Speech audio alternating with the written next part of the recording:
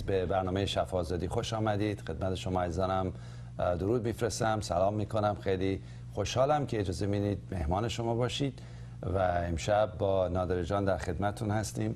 خدا شکر. شما عزیزان بخیر بله. سلام می‌کنم. منم خدمت تک تک شما عزیزانمون دوستتون داریم و خوشحالیم که امشب دوباره در کنار همدیگه هستیم و همینجور که همیشه واقعا شکرگزاری می‌کنیم که اجازه می‌دید که ما در منزل های شما باشیم و با شما درد دل کنیم. بله واقعا. نادر جان لطف کنید دعا کنید و ادامه میدیم. و دعا و با شکرگزاری به پیش تو میایم خداوند. بله, بله. همین امروز که ما رو زنده نگه بله. داشتی سلامت نگه داشتی و در زیر فیض خودت نگه داشتی خداوند. تو رو شکر می‌کنیم مسیح. بله. برای این ساعت و این وقت برای عزیزانمون که با مشتاق اشتیاق زیاد به تو آمدن و می‌خوان از تو بشنون از تو دریافت کنن. شکرگزاری می‌کنیم. این ساعت و وقت رو به تو میدیم و آنچه که امروز تو به ما تعلیم میدی با ایمان دریافت می‌کنیم. بله. در نام مسیح. آمین آمین. آمین در هر صورت توی زندگی مسیحی پستی و بلندی ها و سختی ها و دردها و همه چی وجود داره. بله. نباشه عجیبه. نباشه عجیبه. و مشکلات هست ولی خداوند ما زنده است. و خدایی است که قادر مطلقه. ما بالاخره یک روزی بر این زمین هستیم یک زمانی داریم و خدا می‌خواد این زمان رو به طور بسیار عالی استفاده کنیم. و به این دنیا وابستگی نداشته باشیم. چون دنیا تمام مسائل دنیا مثل بادی است که میاد و میره و پوچه. ولی کاری که شما به عنوان خادم انجام می‌دید کاری که شما به عنوان یک مسیحی انجام می‌دید در نجات مردم در شفا و آزادی مردم در قوت و پیروزی مردم هیچ وقت به بتالت نخواهد رفت بلکه اثر جاودانی داره. این اثر جاودانی داره. یعنی اثری رو که کسی رو که به خواهرمون ونوس بشارت داده اثر جاودانی گذاشته و کسی رو کسی که با او دعای نجات کرده اثر جاودانی داشته و کسی که به او تعلیم داده و اون رو زن خدا ساخته اثر جاودانی داشته. برای همین خسته نشید خسته خاطر نشید. هیچ چیزی نمی‌تونه جلوی کار خداوند رو بگیره. کار خداوند جاودانیه. توجه کنید. کار خداوند جاودانیه. اگر خادمی هستی که نگاه می‌کنی عزیزی هستی که قلبتو به عیسی مسیح دادی و اینقدر سختی ها و مشکلات دنیا هست اینقدر دردها هست اینقدر عزیزانت رو دیدی جلوی چشه در دستت رفتن. ولی بدون اگر در نیکویی خداوند و کلام خدا رو کاشتی کلام خدا به بتالت نمیره. اثر جاودانی داره.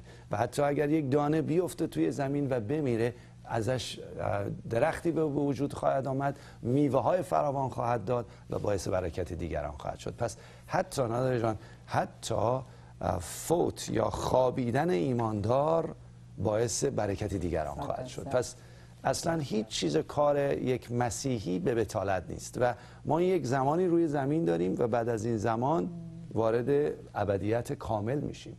تا ابد. و این هدف یک مسیحیه که تا موقعی که روی زمینه اثر جاودانی بذاره مردم رو باعث نجاتشون بشه باعث شفا و آزادی بشه. این وظیفه ماست. تنها وظیفه من و شما هم نیست. وظیفه تمام عزیزان. اول, اول ما باید باشه واقعا. در صورت در هر حتی در خوابیدن ما میگیم فوت ایماندار خوابیدنه. یعنی خوابیدن و بیدار شدنه. یعنی تا میخوابن بیدار میشن. این خیلی زیباییش به همینه. میخوابن در حضور خداوند بیدار میشن. حتی خوابیدن ایماندار برای روی زمین برای دیگران اثر مفید خواهد داشت. ببینید چقدر خدای ما نیکوست. اگه این برنامه رو دارین می‌بینید هنوز قلب تو به عیسی مسیح ندادی. بدون امشب خدا می‌خواد شما قلب تو به کسی بدی به خداوندی بدی به نجات دهنده بدی که می‌خواد تا ابد زنده به ازار شما باشید. اثر شما اثر جاودانی باشه و امشب می‌تونی قلب تو به این خدای زنده بدی. بگی خداوندا من نمی‌خوام فقط تو این دوران کوتاه زندگی باشم. سی سال چل سال پنجاه سال هشتاد سال حتی 90 سال. حالا که می‌خوام جاودانی با تو رابطه داشته باشم زندگی کنم. پس منو امشب بپذیر. منو به عنوان فرزندت بپذیر تا با تو تا ابد زندگی کنم. یه آیه الان یادم اومد. خداوند یادم آورد. در مزمور 116 بله. آیه 15 میگه موت مقدسین برای خداوند گرانبهاست. موت یعنی همون رفتن به حضور خدا و, و در اینجا نبودن حتی. در نظر وی گرانبهاست میگه پس چقدر رفتن هر مقدسی بله. هر کسی که فرزند خداست و به حضور خدا میره در هر زمانی و هر شرایطی برای خدا گرانبهاست برای خدا ارزشمنده. پس خدا رو شکر می‌کنیم که بله بی ارزش نیست. خیلی جالبه. بی ارزش نیست. اینجوری نیست. شما خداوند برای ما جانش رو داده. پس بله. ارزشمند هستیم. پس برای خدا گرانبهاست. دقیقاً. چقدر مهمه بدونیم ماها ارزشی داریم که به اندازه خون عیسی مسیحه. ایمان داری که این برنامه رو نگاه می‌کنی؟ هر سختی داری هر مشکل داری هر بندی داری هر چیزی که گرفتارت کرده بود خداوند می‌تونه آزاد کنه که شما ابزار دست خداوند باشی برای بقیه عمرت. من و شما میبایست ابزار دست خدا باشیم برای بقیه عمرمون و اون پیروزی و قوت در خونمون در زندگیمون نمایان بشه. برای همین ازت می‌خوام خواهش می‌کنم به خصوص ایماندارانی که این برنامه رو می‌بینید اجازه بدید از بندامون آزاد شیم. اجازه بدید از اون مشکلات و اون قلعه هایی که در افکارمونه در احساساتمونه در زندگیمونه کاملا آزاد شیم. و این پیروزی و قوت وارد خانه و زندگی ما بشه. و هدف این برنامه هدف من و نادر جان اینه که شما بتونی بقیه عمرت رو با پیروزی زندگی کنی. هدف همینه. درست نادر جان؟ هیچ چیز بله. دیگه ای هم نداریم ما.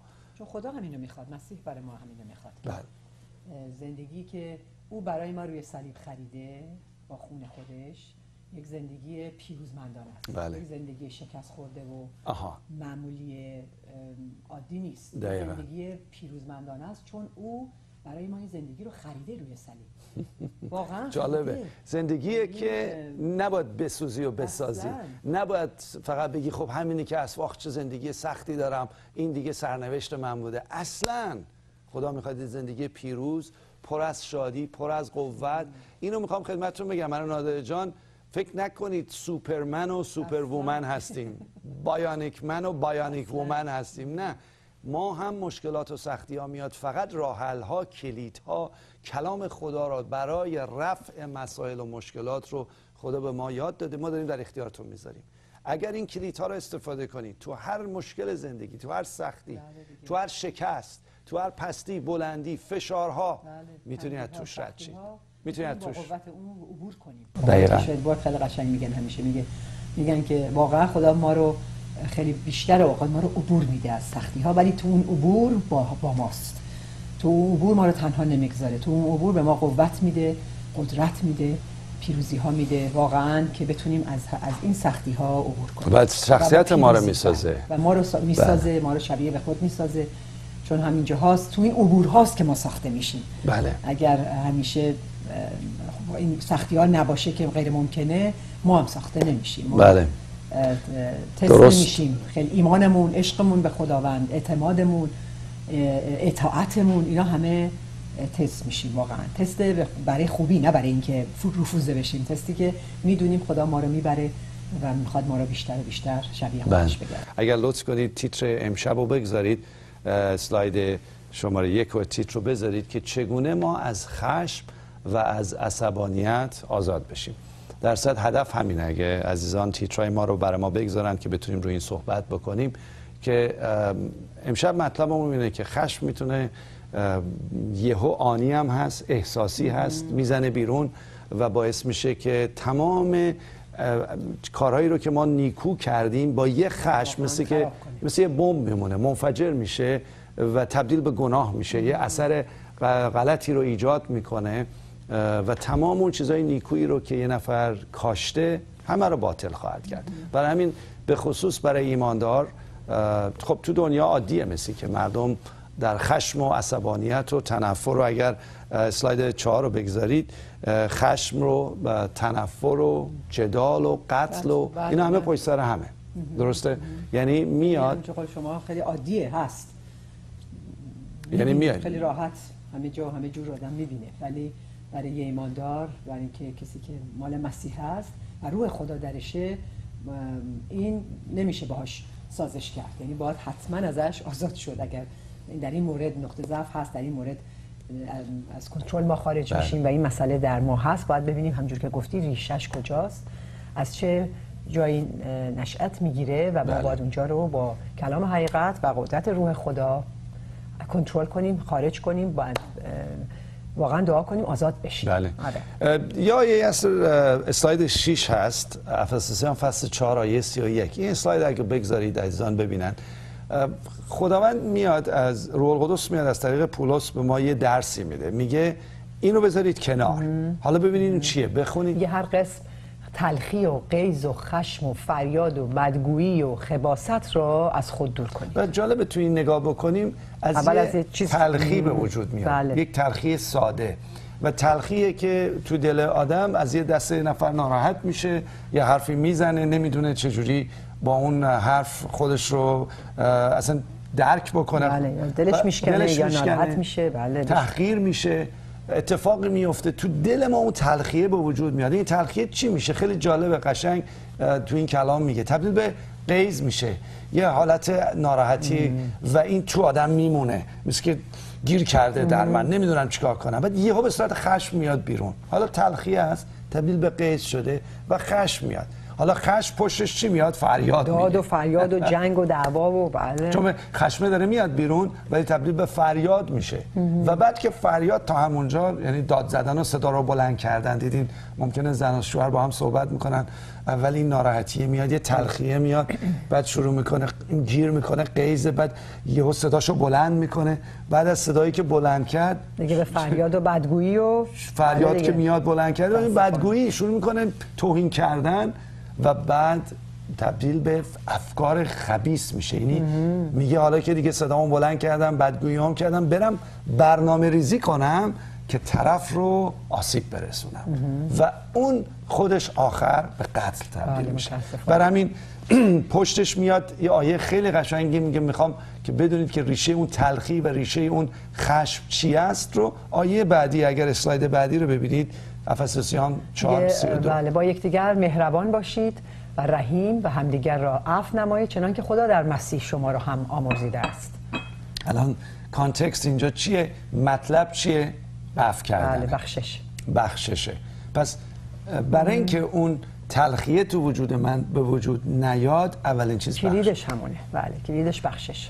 یعنی اگه یه نفر خشم می‌گیره یکی از عوامل خشمش یک تلخی تو وجودش که به خاطر نبخشیدن گیر بله. کرده و خیلی هم ممکنه در اون زمان به قول معروف حق با او حقم داشته باشه. حق باشه بله. یعنی طرف مظلومه شده بوده اصلا. مظلومه بوده دقیقاً ولی در هر حال اون نبخشیدن در قلبش در فکرش در احساسش هست همجور که میگین جمع شده و جمع شده و ازش آزاد نشده و هم شده تلخی بعد کم کم میشه خشم و میشه بله. نفرت و بعدم دیگه به قتل امکان داره بکشه یعنی واقعا بله دیگه. عکس های غلط و حتی تو فکرمون وقتی به یه نفر بدیم و توهین می‌کنیم و خشم میریزیم مثلا کلام خدا میگه قتل دیگه. میگه قتله یعنی کلام خدا تو متا کاملا فصل پنج میگه که عیسی مسیح میگه قتل این نیست که فقط یه نفر رو بکشی بلکه اونی که نسبت بهش خشم می‌گیری به برادر خودت و این خشم رو ابراز می‌کنی بهش اون مثل قتل میمونه. بله. جالب اینه که تو خونه ها داره اتفاق میفته. حتی بین بچه ها و پدر مادرها داره اتفاق میفته. حتی ممکنه یک فرزندی از پدر مادرش یه چیزی تو دلش بوده بله. سالها گذشته و اون پدر یا مادر فوت شده. ولی این خشم این انقدر وجود داره این قیز انقدر وجود داره نمی‌دونه چیکار باش بکنه. و بعد میاد چیکار می‌کنه؟ این قیزه وجود داره. حالا از یه جای دیگه این وجود به وجود سر اومده. کسی دیگه. سر همسرش به وجود میاره سر بچه هاش میریزه تو کارش میریزه. مثلا یه آدم خشمگینی میشه. یعنی هر کی باش برمیخوره میگه تو چرا اسخر ترقه ای هر موقع که ما با حرف می‌زنیم تو از کوره جنگجویی داره همیشه. بله دقیقا همینه.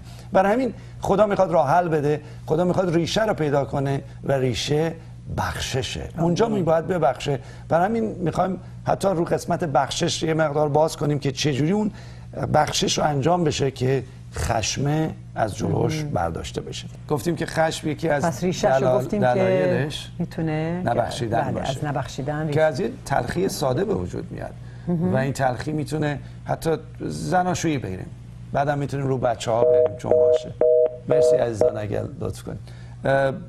اه، اینی که ممکنه من به شما یه آسیبی برسونم تو صحبتم یه حرفی بزنم تحقیرتون کنم. که البته نمی کنم ولی مثلا زن و شوهر تو صحبتاشون حواسش نباشه خودخواهی تو دل آدم باشه. بالاخره انسان بله، انسان. اشتباه می‌کنه.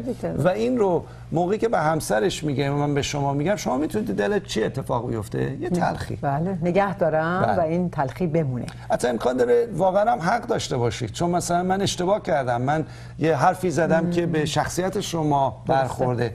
اون میمونه و اون تلخی چه اتفاقی میفته همون دیگه همینطور ادامه پیدا می‌کنه تلخی تبدیل به غیظ میشه خشم میشه یعنی واقعا تو نمیبخشه. نمیبخشم دیگه ولی بله. کلیدش اینه که اگه همونجا می‌تونستی بله. ببخشی آزاد می‌شدم آزاد میشه یعنی بخششم به یعنی به این معنیه که من اون اون چیزی که به من اتفاق افتاده حالا تو قلبم تو فکرم بر علیه من شده حالا چه درست چه غلط من اون حق و اون مسئله که بر من اتفاق افتاده رو بسپارم به فوری یاد بگیرم و بدونم که بخشش برای سلامتی و برای شفا و برای آزادی منه بله. چون وقتی نگه دارم من مریض میشم و من واقعا توی اسیر میشم بله، اون مریضیه اون وجود داره. مریضیه در من به وجود میاد و اون تب مریضی خشمه بله. می‌زنه بیرون کاملاً. بعضی همین- بعضی افسردگی میشه بله، یعنی اون بله. میمونه چون نمی‌تونه بیرون بریزه شاید حالت میمونه بله. غم میشه غم و پس- افسردگی میاره و در هر حال اون تلخیه نبخشیدن امکان داره که منو به خشم بیاره یا منو به افسردگی ببره. پس چقدر بهتره که هیچ کدوم راه نره؟ بهتره این که ما ف- یاد بگیریم که وقتی یه تلخی میاد یک مسئله بر من بله. میاد فوری بتونم اون رو بسپارم و بدم این حق و بدم این مسئله رو بسپارم به دست عیسی مسیح. و بگیم مگه مسیح جان اینو من به دستای تو میسپارم. میسپارم و تو در ازاش محبت و بخشش تو قلب من بذار. واقعا. بله. اون سپردن خودش یک مرحله بخششه. خیلی اتفاق افتاده. حتی ممکنه من داشتم مثال می‌زدم. اتفاق دیگه نفر دست یه نفر عصبانیه و نبخشیده. و این خشمش رو نمی‌تونه با اون فرد کنترل بعد این خشمه در جاهای دیگه می‌زنه بیرون. درسته. و این خشم واقعا خانمان براندازه. یعنی عادت می‌کنه اون شخص. یعنی این دیگه جزء شخصیتش میمونه. حالا نمی‌دونه که از یه جای خیلی کوچیک شروع شده. درست. و امکان داره یه عزیزش اونو آزرده. حتی یه عزیزش پدر مادر بله بله. حتی از همسر. بچگی امکان داره از بچگی. همطوری جمع شده.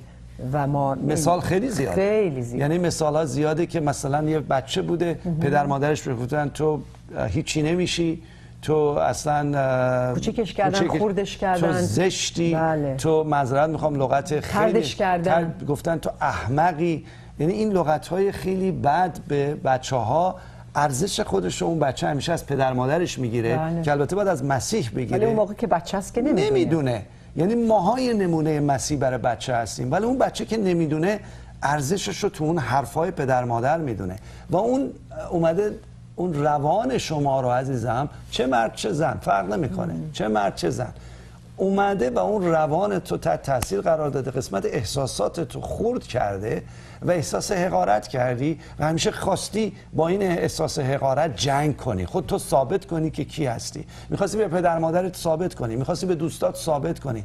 و این حالت ستیزه جویی و جنگ در وجود شما به خاطر دفاع از اون مطلب حقارت مطلب کتک خوردن. شاید کتک خوردیم.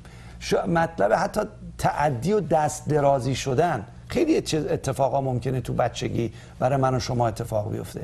و این در من یک حالت جنگجویانه و یک حالت دفاعی یه سیستم دفاعیه. درسته ناجان یعنی بله، مسئله. اصلی این نیست که من بخوام حتما خش بگیرم. یه سیستم دفاعی منه که بتونم اون مسئله تحقیر رو مسئله چون نمی‌دونم چطوری حلش کنم. با خشم بریزم با خشم حلش می‌کنم یا با افسردگی فکر می‌کنم می‌تونم حلش بله. بکنم یا ام، دیگه در, هم در هر صورت این در من همطوری باقی میمونه پس باید برن ریشه رو پیدا کنن باید برن اون زمان و بگن مثلا روح القدس دعا کنیم. بگیم روح خدا تو به من نشون بده این خشمی که از من بیرون میاد حقیقتا ریشش چیه فقط بهترین بهترین کسم روح القدس می‌تونه اینو بله. نشون بده دقیقاً. چون هر چقدر ما بریم پیش انسانی و روانشناسی و این, این برنامه ها اونها هم باز انسان هم نمی‌تونن ولی وقتی دعا می‌کنیم به عنوان ایماندار و روح خدا رو داریم و روح القدس به ما کاملا بله. نشون میده که از بچگی بوده جوونی بوده در دوران چه زمان و چطوری بوده که ما این این ضربه رو خوردیم و همینطوری اینجا مونده و این الان داره به این طور از من و شما این خشم بیرون میاد. درسته. و واقعا یکی از چیزهایی که دارین میگی مثلا اینه. موقعی که یه راه حل بدیم سریع که حالا بله. فهمیدن. فهمیدن که من دوران بچگی تحقیر شدم. درسته. و منو هیچ وقت حسابم نکردن. و یا زور زور بهم گفتن. آوردن یا حتی یه جایی شکست خوردم. از شکست هم هست چون شکست ها خشم میاره. تو بله. طلاقا چقدر خشمه؟ بله. طلاقا دعواهاست فریادهاست. تو رابطه زناشویی حتی کتککاریه. از خشم میگذره از فریاد میگذره به کتککاری و حتی به قتل میانجامد. حالا بریم رو همون احساس حقارت کردن. اگر یه نفر شما رو توهین کنه یا بچه بودید و این توهین کرده الان چجوری می‌تونی این رو جلوی خدا ببری بله. دعا کنی و این شفا پیدا کنی بله یه اونجایی که همون از بچگی یا از جوانی یا هر جایی که بهتون نشون میده که بله. روح القدس کجا شما این مسئله به وجود اومده اونجا یادتون باشه که شریر میاد و دشمن ما که شریره اونجا یک دروغی رو بر علیه ما حالا اون شخص به ما اشتباه کرده ولی شریر هم میاد به ما خیلی دروغ ها در مورد شخصیتمون هویتمون وجودمون حتی آیندهمون زندگیمون به ما دروغ میگه که تو ناچیزی تو هیچ وقت درست نمیشی تو همیشه همینی تو بی شخصیتی تو ضعیفی تو بی ارزه ای تو اینی تو اونی. یعنی ارزش تو کاملا یعنی اینقدر دروغ رو من باور می‌کنم که این دروغ میشه جزو ام، باور و فکر و شخصیتم. شخصیتم. و الان که می‌دونم با به نام مسیح می‌دونم که من کی هستم در خداوند و شخصیتم و ارزشم رو باید از خداوند بگیرم که من فرزند خدا هستم. من واقعا محبوب او هستم. من بخشیده شدم. من اه، اه، شاهزاده شاهزاده او هستم. من هم ارث او هستم. من صنعت دست او هستم. من واقعا فرزند بر حق یعنی بر چیز هستم. بر حق خداوند. خداوند هستم. وقتی این این حقایق رو می‌دونیم که خدا گفته اون موقع می‌تونیم این دروغی که سالها واقعا فکر فکر و دل و جان منو گرفته بوده اون رو به نام عیسی مسیح دعا کنیم این دروغ رو رد کنیم و حقیقت رو جایگزین کنیم. اون زمان وقتی که میگه حقیقت رو بشناس حقیقت تو رو آزاد بله. می‌کنه. و اون حقیقت که فکر منو پر می‌کنه و جایگزین می‌کنه بعد می‌بینین احساسم دیگه احساس بدی نیست و احساسم شفا پیدا می‌کنه در مورد خودم. و این احساس در در عملکرد من و در شخصیت من تاثیر بله، خواهد گذاشت. درسته. یعنی درست از فکر من شروع میشه. پس اگه اونجا یه فکر رو یک جاپایی شریر توی فکر و دل من گذاشته رو باید دعا کنیم و اون شخص رو حالا اول ببخشیم. دقیقاً. شخص رو به دست عیسی مسیح بسپاریم. اون دروغی که تو فکر من نشسته من میگم هم دست بسته بدن. بله یعنی دیگه. چون گناهکاره. بله، اون مجرم اشتباه کرده، پدر باشه مادر کرده، باشه بنده. باشم فرق نمی‌کنه. زندانی بدین دست مسیح که خودت آزاد بشی. بله، آمین. من یه مثالی الان یادم اومد. مثل این میمونه یه زندان با میله هاست. یه زندان با میله ها و این زندان با میله ها زندانبانت اون شخص است که بهت آسیب رسونده. حالا توی زندان هستی و میله هم هست بعد یه جای زخم شده در وجود طرف قلبت زخم شده و هم خونریزی داری هم درد داری هم فشار و اون شخص هی داره به این مطلب از پشت میله ها داره هی یه سوزن می‌زنه دوباره اون- می‌زنه قول می‌زنه. به اونجا هی داره نمی‌دونم نمک روش میپاشه و اون داره این کارا می‌کنه و شما تنها کاری که می‌تونی که این میله ها که نمی‌تونی بری بیرون. تنها کاری که می‌تونی بکنی جیغ بزنی داد بزنی. اگر کسی هم دور تو زندان باشه به اونم جیغ. بزنی. به اونم کتک. بزنی. چون نمی‌تونی از این زندان خارج بشی. و داری با خشم خودت فقط میگی آی درد دارم. و اون طرف هم وایساده جلوی چشه. یا حتی بگین اینو ببین داره به من ببین. ضربه می‌زنه منو اذیت می‌کنه. اصلا کاری هم نمی‌تونی. حالا. اون بیرونه. حالا خیلی جالبه این احساسه این تماما احساسه و بله. تماما درده. میگه خداوندا داد داد داد بزنه. خداوندا عیسی مسیح. عوض که داد به مردم بزنه به خدا بزن. عیسی مسیح به دادم برس. بیا و این شخص رو می‌خوام به دستت بدم. این زندانبانم رو می‌خوام به دستت بدم. بگیر و ببرش. ببر توی زندان نگرشدار و این جلوی این میله ها بره کنار. چون داره هنوز به من با زخم کلیدش خودش مسیح و موقعی. که بله دقیقا اومد بردش عیسی مسیح با کلید عشقش میاد در زندان رو باز می‌کنه. تو رو در آغوش می‌گیره و میگه دخترم این زخم رو من شفا میدم. تو دختر عزیز من هستی. تو, تو شاهزاده من هستی. من برای تو خونم رو دادم. این آقا رو ولش کن. این خانمو ولش کن. بذار بره من وارد یه زندان دیگهش می‌کنم تو یه میله نگرش میدارم. ولی تو بیا تو آغوش من. امشب این کارو بکنید. امشب بگی خداوندا من اون شخص رو که در دل من این قیز رو عصبانیت و بله، تلخی رو کاشته میدمش دست بسته به تو بندازش زندان دیگه. منو از این زندان درار و حالا من باور دارم که اون تخیرهایی که او کرده از طرف شیطان بوده. باور دارم اون می‌خواسته منو خورد کنه. دست خودشم نبوده. خودشم یک انسان گناهکار محکوم به حلاکته ولی شیطان بوده که می‌خواسته من حتی جدا کنه. من می‌دونم شخصیتم کیه. من می‌دونم که عزیز تو هستم. من فرزند عزیز تو هستم. من شاهزاده تو هستم. بیا این درد منو التیام بده. همجور که دعا کنه میره. بله. به نام مسیح. با ایمان انجام میشه. و این آزادی رو می‌گیره و دیگه این خشم تبدیل به آرامش میشه اونجا واقعا یه سری چون خشم یه قسمت احساسی ماست بله. و اونجا قله است همونجوری که کلام خدا میگه تو دوم قرنتیان فصل ده آیه 4 و 5 میگه که جنگ ما جنگ بله نیست. جسمانی نیست روحانیه و میگه و برای هر جایی که اون قدرت تاریکی تو احساس منو گرفته میگه قلعه به وجود میاد چون زخیمتر و سفتر و بدتر شده و اون اون دستشو به راحتی بر نمیداره. برای همین میگه اون رو وقتی میبخشیم و میدیم اون قلعه رو زمانی می‌تونیم فرو بریزیم که ببخشیم و هر فکر رو به اسارت مسیح ببریم دقیقا. پس ریشه اصلی بیشتر خشم البته هست الان ریشه های دیگر هم باز می‌کنیم. بله. اینی که من خودم ارزشم رو نمی‌دونم و یه نفر این ارزش رو خراب کرده و این ارزش رو کوبیده و این ارزش رو از من دزدیده و دروغ بهم و دروغ بهم چون ارزش من که عوض نمیشه. خیلی خیلی جالبه. من داشتم به یه نفر صحبت می‌کردم. ببینید ارزش ما اینجوریه. من الان من یه پولی رو درارم از اینجا. البته کمترش درارم 20 دلاری. یه 20 دلاری. این 20 دلاری عزیزان اگر یه این دوربین رو نشون بدید این 20 دلاری نوشته 20 روش 20 دلاره. شما اینو هر جا برید حالا مرسی من با نادر جان. اینو هر جا بری این 20 دلاره. بله. یعنی خیلی 20 دلاری بعضی وقتا از بانک می‌گیری تمیز درسته خیلی مرتبه. ولی من اگه اینجوریش کنم خوردش کنم. درسته؟ خوردش کردم. آیا شما اینو می‌گیری از من؟ شما می‌گیری؟ من می‌گیرم 20 دلاریه. بازم بازم هم 20 دلاریه. فقط فرم و شکلش خیلی زشت شده ولی ارزشش که عوض نشده. نشده. بازش کنی. ارزشش همه. خیلی باز میشه. خیلی راحت. باز بله. دوباره 20 دلاریه. یعنی حالا اگه اینو من زیر پامم بذارم درسته؟ بذارین زیر پاتون یعنی خوردش کنم بذارم زیر پا بکوبمش. بازم 20 دلاره بابا. این 20 دلار عوض نمیشه. پس این ارزش خودتون رو در خداوند درک کنید که کسی نتونه بهت آسیب برسونه که تلخی تو دلت نیاد که بعد تبدیل بشه به قیز تبدیل بشه به خشم تبدیل بشه به گناه. بابا ارزش رو در خداوند پیدا کن.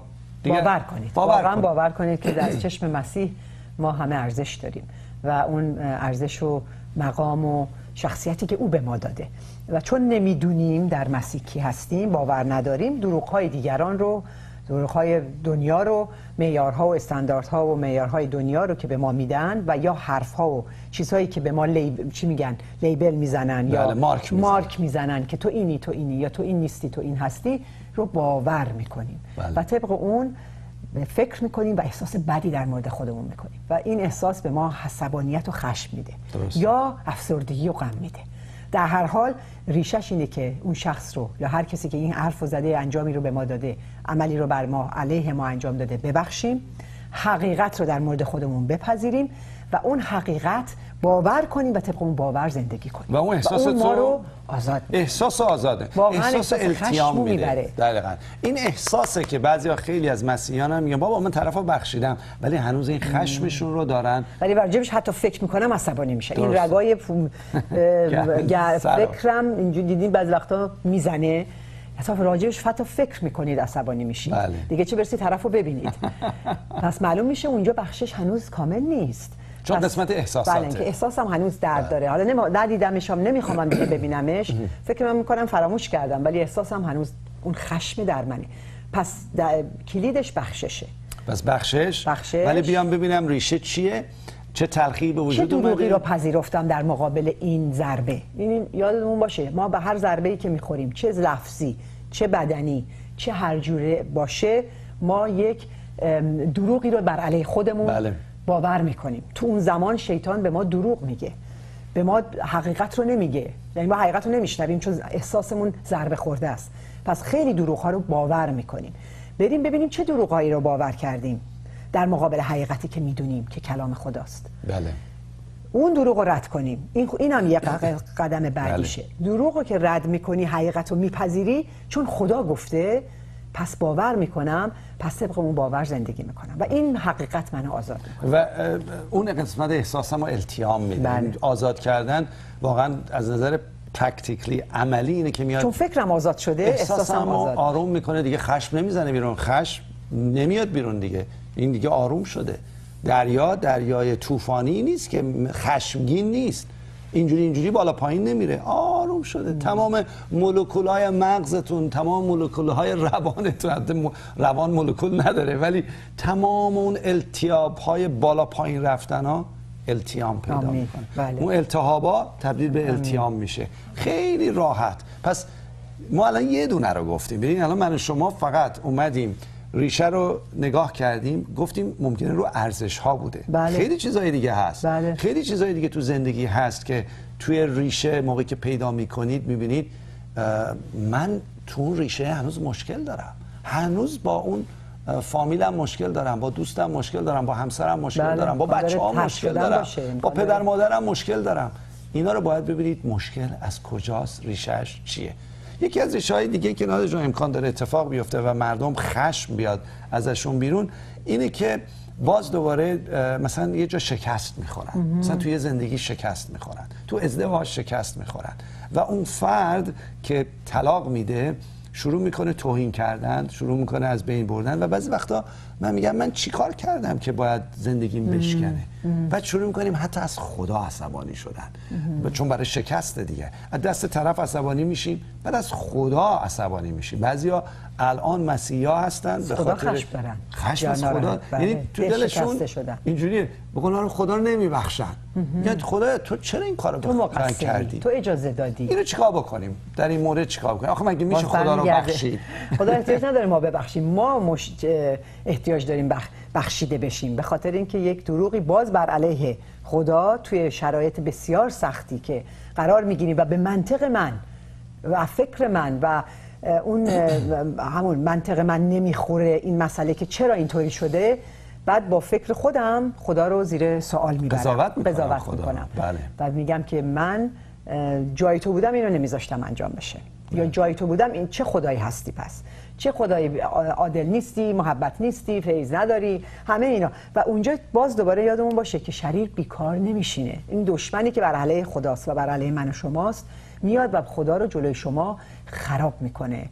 و بی محبت بی بدون عدالت و واقعا خدایی رو بهتون نشون به ما نشون میده که کاملا اصلا اصلا, وجود نداره. دروغه در دروغه. یعنی در مقابل در, در مورد خدا به ما دروغ میگه. و خدا رو جلو ما همچون که گفتیم خراب می‌کنه. خراب و یه تصویر غلطی نشون میده و من نسبت به خدا طرز فکرم عوض میشه خشمگین و میشم و دور میشم. بله. و فاصله می‌گیرم. خیلی- و شریرم همینه می‌خواد. درسته. خیلی چیزا می‌خواستم از خدا نشده از دست خدا شاکی یا شده که اصلا انتظار نداشتم بشه.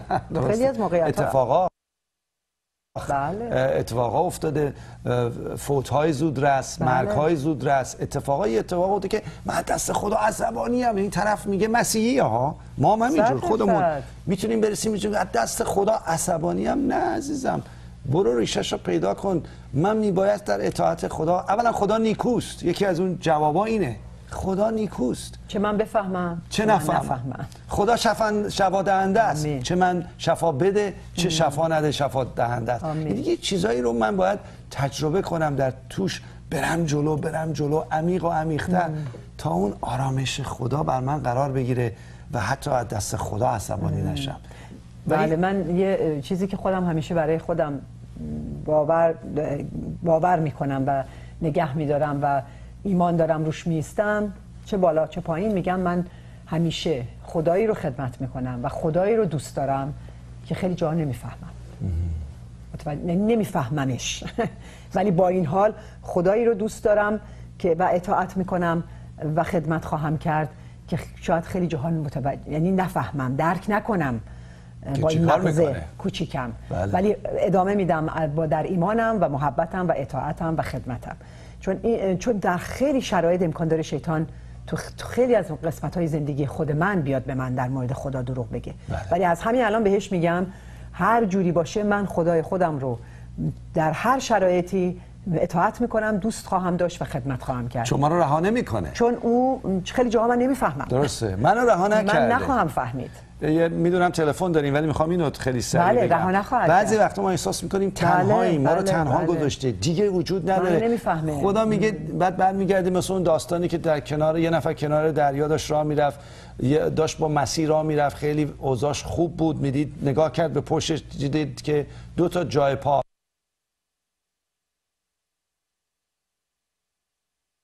که مال خودشه که مال مسیح. زندگیش عالی بود هوا عالی بود همه چی خوب بود. یهو هوا طوفانی شد مشکل اومد سختی اومد. یهو نگاه کردید تنهاست پشتش نگاه کرد.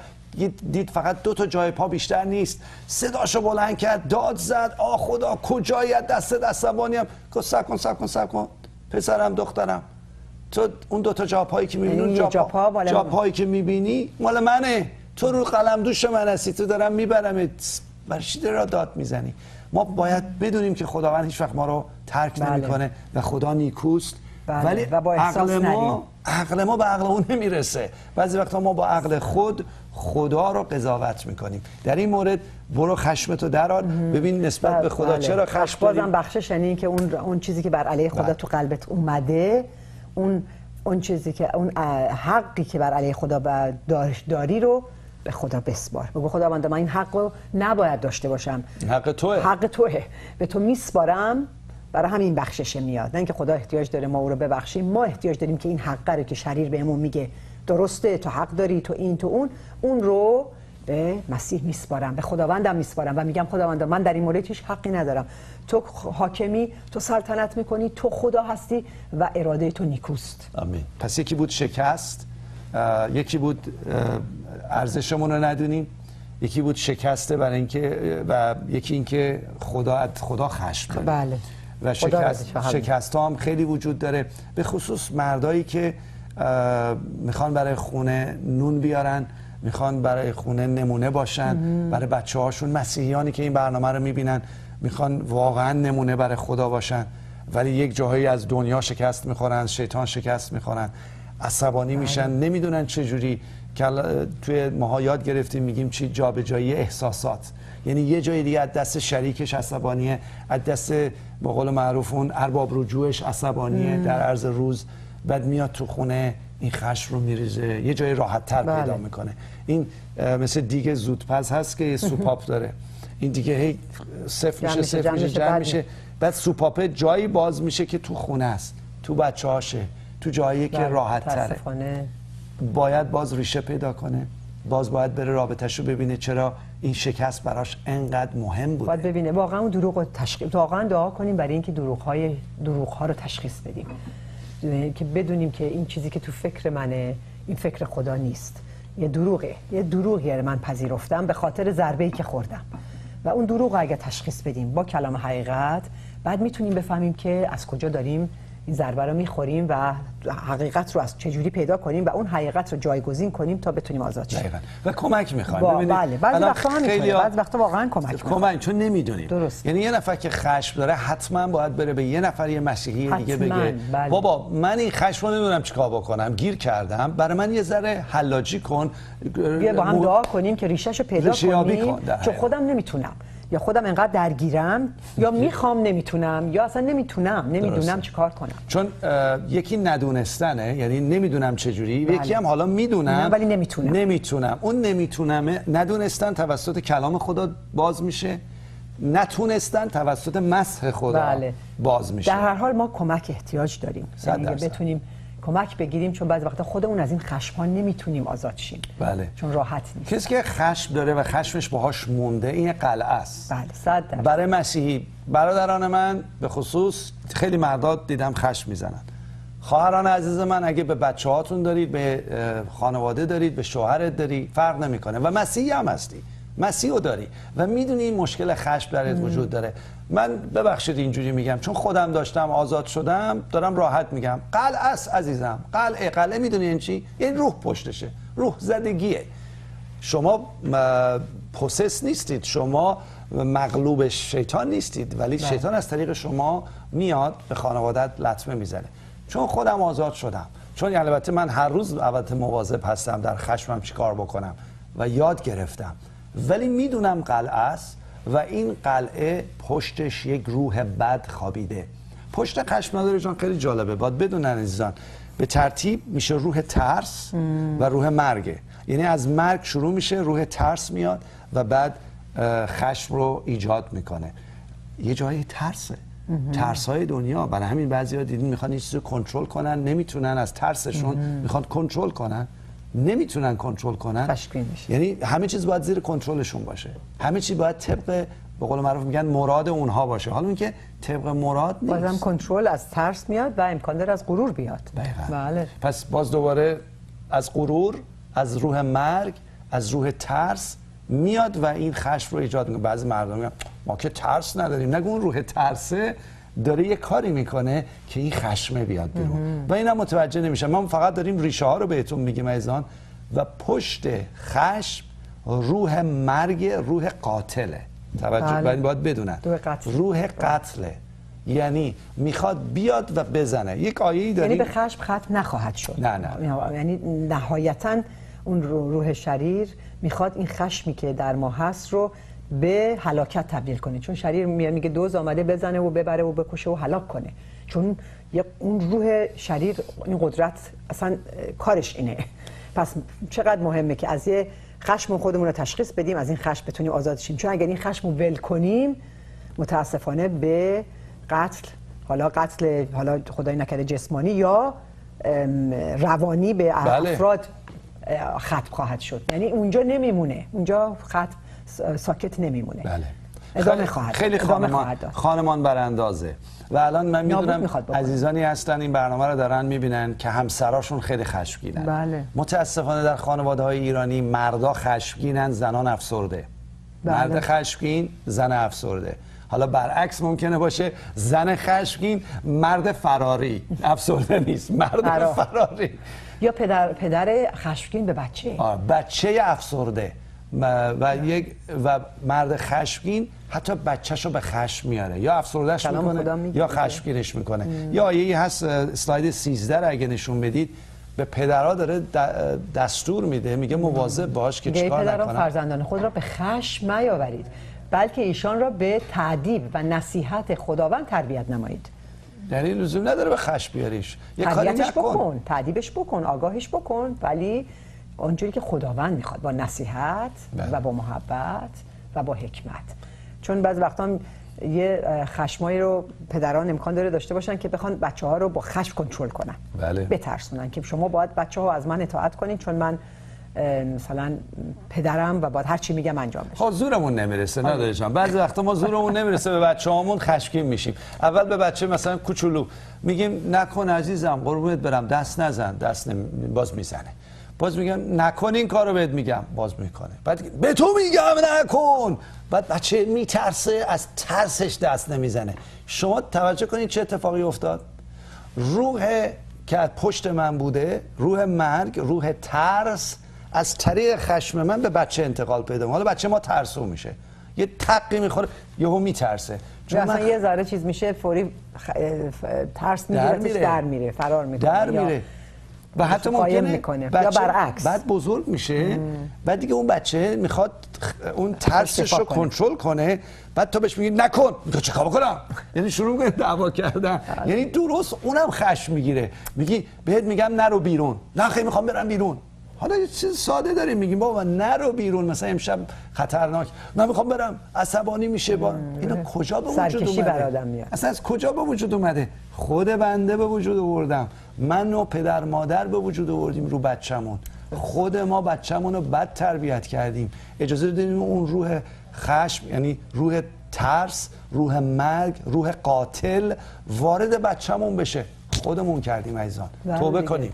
بگیم خداوند ما رو بله. ببخش. نام که ما این. کار رو با بچه هامون کردیم. ما بچه هامون رو جری کردیم. ما بچه هامون رو درست پرورش ندادیم. کلام خدا میگه. خشم. میاریم. و بچه هامون بی شدن. تقصیر منه.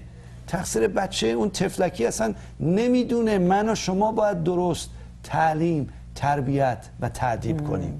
بلد نیستیم با خشم می‌کنیم. ولی آقا خوشبختانه خدا رو شکر می‌کنیم که در مسیح هیچ وقت هیچی دیر نیست. آمین. از همین امروز از همین لحظه همین زمانی که روح القدس ما رو ما میگه و الان داریم میشنویم و من تو دلم تو فکرم ملزم. میشم همین الان میگه خداوند توبه کن. هر تاثیر و هر چیزی غلطی که تو حتی منتقل کردی. خشم بوده ترس بوده. منتقل کردی به فرزندانت. منتقل کردی به خانه و خانوادت رو به نام مسیح. وقتی با توبه می‌کنی و اون بخش طلب بخشش می‌کنی و هر قدرتی هم که اجازه دادی ازش از شریر پس می‌گیری و به دست مسیح میسپاری و میگه خداوندا امروز در من کار کن. اون محبت اون آرامش اون تسلیم و واقعا روح آرامش خودتو بر من بریز قلب منو تو شفا بده و اجازه بده که روح آرام تو و سلامتی تو وارد خانه و خانواده من بشه. و هر تاثیر غلط هم تو به شفا و آزادی و برکت تبدیل کن. بله، چقدر جالبه. این, این کار خداونده. کار خداوند خدا. تبدیله. هیچ نیست که بگی آه حالا من اشتباه کردم. دیگه به قول معروف تو لیت دیگه دیر شد. دیر شده. بچه‌مو از دست دادم همسرمو از دست دادم خودم هم دیگه هیچ امیدی برام نیست. اینا حرفای شریره. اینا حرفای چیزهایی که شیطان می‌خواد به ما ناامیدی بده و بله. بگه هیچ امیدی برای تو نیست. امید همیشه هست چون خدای ما امیده. خدای امیده خدای زنده است و خدای قادر مطلقه و خدایی که می‌تونه امروز تبدیل کنه. به شرطی که من و شما بخوایم کاری که اشتباه کردیم رو توبه کنیم کنار بذاریم و از امروز فکر خدا دل خدا روح خدا در ما کار کنه. دقیقا. اصلا بیاید تمرین میشه. کنید. از این به بعد یه روزه روزه خشم بگیرید. اه بعد یه روزه خشم یعنی چی؟ یعنی اگه خشم من میگم من امروز نباید بکنم. من روزم. من روزم. من نباید خشم بگیرم. شروع کنید روی این بابت که من حساس باشم نسبت به این مطلب. خشم خواست بیرون بیاد جلوشو بگیرم به جاش نرم, نرم. صحبت کنم. آیه ای هست اگه اسلاید 14 رو نشون می‌دید میگه به جایی که جواب با خشم بگم با عصبانیت بگم به این صورت میگه جواب نرم جواب نرم خشم را برمیگرداند. جواب نرم خشم را برمیگرداند اما سخن تلخ قیز را به هیجان میآورد. تازه کاملا باعث میشه. که از در مردم عصبانیت ایجاد کنم. خود من آروم صحبت کنم. و یه بچه دست می‌زنه می‌تونم من خیلی جدی بهش میگم خب راه حل ندادیم. راه حل که اگه دست می‌زنه پسرم دخترم دست نزن. اگه نشد اوکی اینو ور میدارم از دستت. شما تنبیه برو تو اتاقت بمون. یعنی باز با آرامش می‌تونیم جا- آره. خیلی راحت خیلی هم جدی. گریه زاری نه نمیشنوم. میری تو اتاق در میبندی. این تعدیبه تعدیبش می‌کنی یادش میدی. و این یاد دادن رو حتی باید خیلی هم جدی بهش بگی ولی بدون عصبانیت. که اون خشمه وارد نشه روی بچه و خود بچه یه روزی این خشمه رو بریزه روی شما و دیگران. آیه بعدی هم هست اگه اسلاید 15 رو ببینید چقدر خوبه که میگه مرد تندخو. یه مرد تندخو نزاع را برمیانگیزد اما شخص دیر غضب خصومت را ساکن میگرداند. چقدر یعنی قشنگ اصلا شما می‌تونید برید تو خونه آروم کنی. بله، بله. شلوغی وقتی می‌دونی که تندخو نیستی خودت خشمگین نیستی خودت عامل صلحی. بله آمین. یاد گرفتی دیگه. ما باید عامل صلح و سلامتی باشیم. خود مسیح میگه. مسیح میگه ما باید عامل صلح و سلامتی باشیم. ولی خب اول درون خودمون باید درون صلح باشه. خودمون آزادی از خشم و آزادی از این مسائل داشته باشیم تا بتونیم این آرامش رو این صلح رو وارد هر خانه و خانواده بکنیم. اول تو خونه خودمون و بعد بیرون. پس یه کلید می‌خوایم بهتون بدیم چیکار چجوری بکنید. بله. همه مسائل رو گفتیم. اسلاید 11 رو نگاه کنید مزمور چهار چهار. اه، میگه چیکار بکنیم؟ خیلی جالبه. خشم گیرید و گناه مورزید که البته یعنی اینکه وقتی خشم که می‌گیری خشم می‌گیریم نه اینکه حق داریم خشم بگیریم. خشم می‌گیریم یعنی میاد. میاد. بله. ولی میگه اون موقع که خشم پیش میاد گناه مورزید در دلهای بر بسترهای خود تفکر کنید و خاموش باشید. درست یعنی یک کلیده. برو تو برای کنترل اتاق. کردنش. بله. برو یعنی فاصله بگیر از اون مطلب از اون موقعیت. اگر تصمیم نگیر عکس العمل نشون نده. آها. چون اون موقع هر کاری می‌تونی بکنی. بله. و هر حرفی می‌تونی بزنی. برای همین همونجا به گروه القدس من آروم؟ نشون بدید، بله. بله. میرم کنار. از اون موقعیت خودمو می‌کشم کنار. منظورم یعنی در یعنی فاصله, فاصله بگیرم. و خاموش باشم.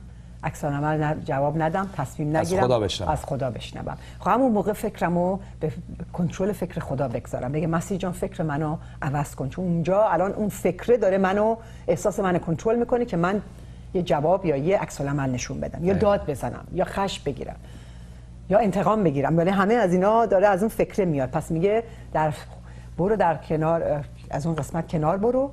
و در خداوند تفکر کن و بذار خدا به با فکرت صحبت کنه.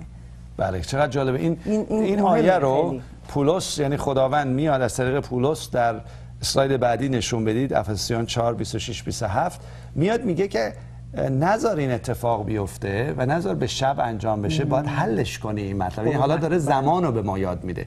یکی میگه روش رو که چجوری برو چجوری برو این انجام بدی هم داره میگه طولانیش نکن. بله نظر یه ما طول بکشه یه هفته طول من از شما عصبانی هم من برم یه ما بذارم ولش کنم. حالا بگم من رفتم دارم تفکر می‌کنم. بعد کامی اجازه بده من حالا فعلا خشمم خیلی بالاست.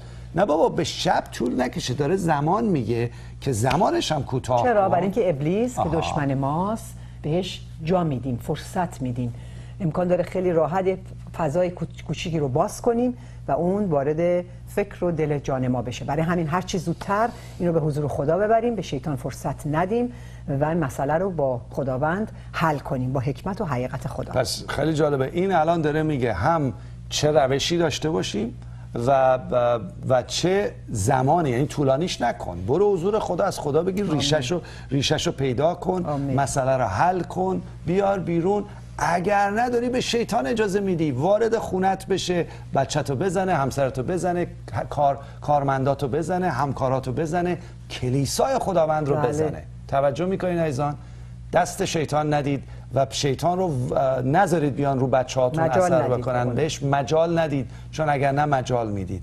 این رو می‌خوام با تمامی دل دریافت کنید.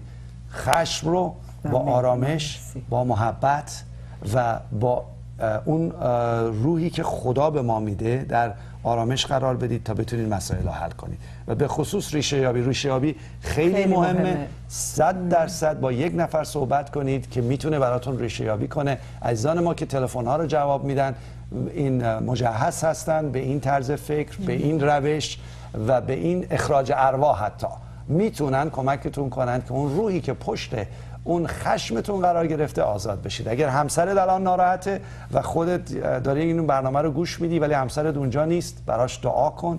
به او خداوند این وقت رو بده که من با همسرم دعا کنم و من و او با هم اون روحی که پشت همسرمه و آسیب می‌زنه به من و بقیه بچه ها رو من و او با هم بیرون کنیم. این رو اجازه بدید انجام بشه. شما بر علیه خشم دوباره خشم نگیرید. خیلی مهمه. ناده جان دعا بکنید لطف کنید. داریم خداوند رو شکر می‌کنیم. ممنونیم برای امروز و این وقت که در حضور تو داشتیم و عزیزانمون. هر آنچه گفتیم خداوند به اسم عیسی مسیح دعا می‌کنیم که کلیدها رو که به ما یاد دادی. امروز بخشش تغییر افکار با کلام حقیقت تو. خداوند واقعا در تو تفکر کردن بله. و روح تو و حقیقت تو ما رو ارزش هامون رو درک کردن. ارزش هامون رو درک کنیم هویتمون رو در تو بله. بدونیم ای خداوند. و اجازه بده که واقعا مثل تو در آرامش و با حکمت و با محبت تو عمل کنیم خداوند. ممنونیم. دعای برکت برای عزیزانمون می‌کنیم و دعا می‌کنیم که در این پیروزی میوه های بسیار بیاریم. در نام مسیح. آمین.